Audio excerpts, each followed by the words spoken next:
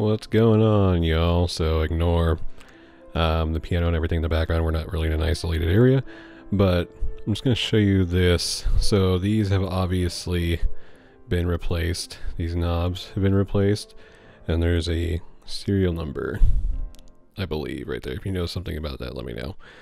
And then there's also scratches everywhere, obviously. The biggest thing is, and I'll show you a clip after um, I'm explaining this. The biggest thing is when you have the delay set past here, the repeats sound a little digitized. I don't know if that's just a normal memory man thing, but just so you're aware of that when you buy it. Uh, it could need to be cleaned. I'm not sure. We'll look into it as well, but just so you know that that's there, you can listen to the audio. Um, other than that, all the pots are pretty, I mean, they're fine. It's just, again, the knobs were replaced. So there's that.